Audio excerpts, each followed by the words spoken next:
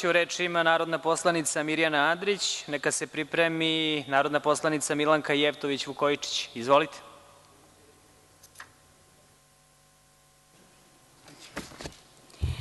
Poštovani predsedavajući, poštovane kolege narodni poslanici, poštovani građani Srbije, današnja rasprava o Predlogu zakona o finansiranju političkih stranaka je, po mom mišljenju, veoma interesantna, ali joj nedostaje ono čuveno opoziciono pitanje – a zašto po hitnom postupku?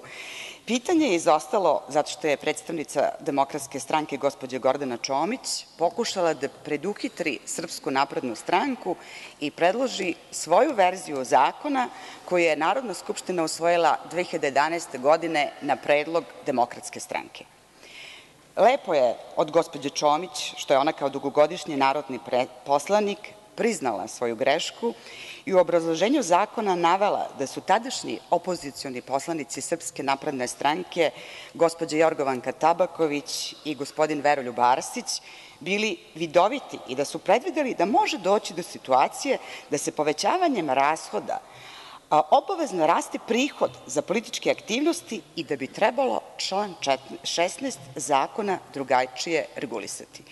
Iako je to gospođa Čomić konstatovala, iako je to rekla, nije ušla u samu suštinu zakona i ni ovoga puta u svojoj verziji nije predložila smanjenje sredstava koji se iz budžeta izdvajaju za aktivnost političkih stranaka.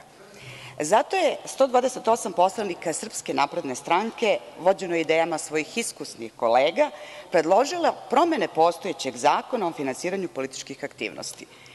Suština svih promena ovog zakona leži u činjenici da će se količina novca koja se do sada izdvajala za političke aktivnosti po važećem zakonu DS smanjiti za preko 30% i da će taj novac ostati u budžetu Republike Srbije.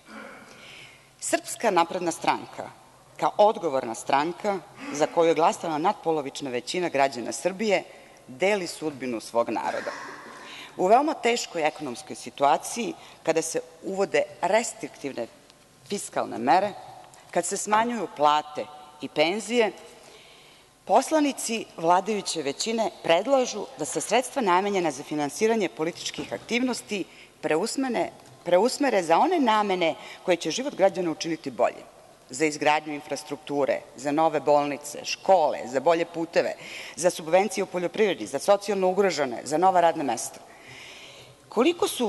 Predlagači ovog zakona, odnosno poslanici Srpske napredne stranke mislili na svoje građane koji su, zahvaljujući neodgovornoj politici prethodnih vlada, dovedeni na ivicu egzistencije, govori činjenica da će se sredstva namenjena za finansiranje predizbornih aktivnosti smanjiti sa 0,1 na 0,07%.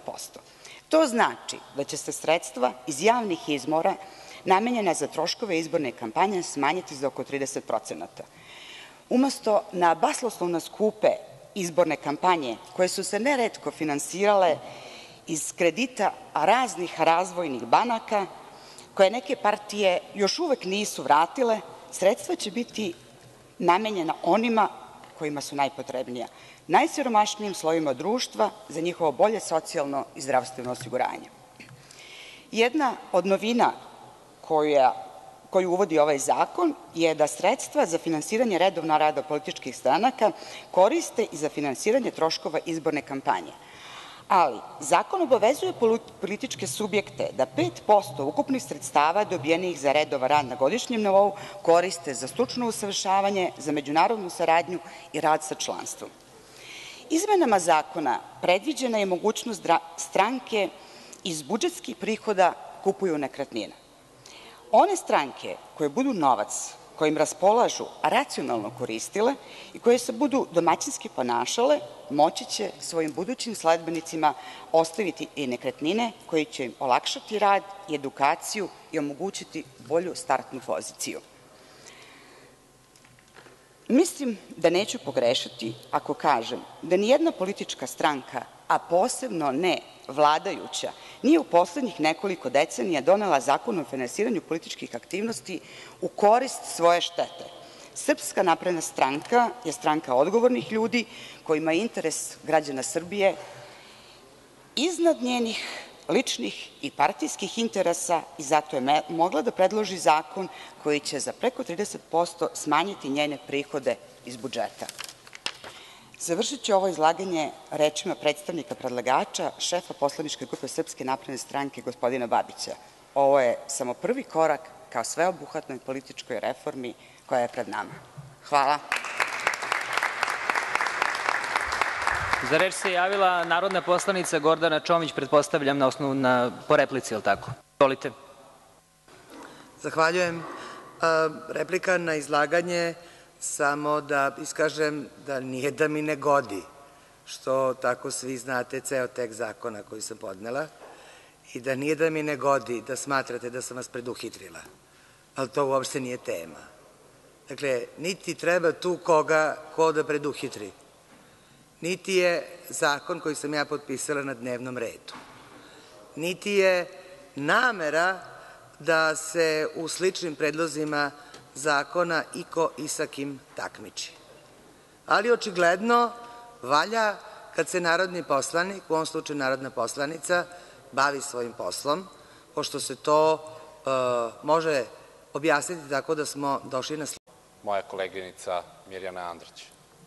Potpuno u pravu da je jedini motiv predlaganja nekih zakona, što je legitimno pravo svakog narodnog poslanika i ja ovim putem podstičem da više narodnih poslanika ili pojedinačno ili grupno kao poslaničke grupe predlažu zakonska rešenja. Da je bilo dobre volje pre strčavanja na pisarnicu i predavanja jednog zakona koji je kozmetički, otvorila bi se debata, otvorila bi se komunikacija. Neko ko ima dobru volju, ko smatra da ima dobru ideju, a takvi stvari je bilo i u prošlom i u ovom sazivu, kada su neka zakonska rešenja, za prošli saziv sam siguran, za ovaj ne, ograđujem se, da kada je dolazilo nešto od strane e, opozicionih narodnih poslanika i ukoliko postoji komunikacija, ukoliko postoji dogovor, što je deo jedne i parlamentarne i demokratske prakse, došli smo i do zajedničkih rešenja i takve stvari su bile i izglasavane u Narodnoj skupštini Republike Srbije. Ukoliko je želja da te promene budu kozmetičke, kao što su bile kozmetičke, jer je ostao isti procenat, promenjena je samo strana i legalizovan, usklađen sa zakonom o budžetskom sistemu, bez ikakve komunikacije, samo da na naslovnoj strani, na prvoj strani predloga zakona piše nekoliko sati ili dan ranije nego što je to uradila Srpska napredna stranka koja je najavila podnošenje ovog izmene i dopune zakona, ja ne vidim nikako drugačije, osim onoga što je i govorila gospođa koleginica Mirjana Andrić, a to je da je bilo bitno samo što pre predati takav neki zakon i reći – evo, mi smo se pre setili,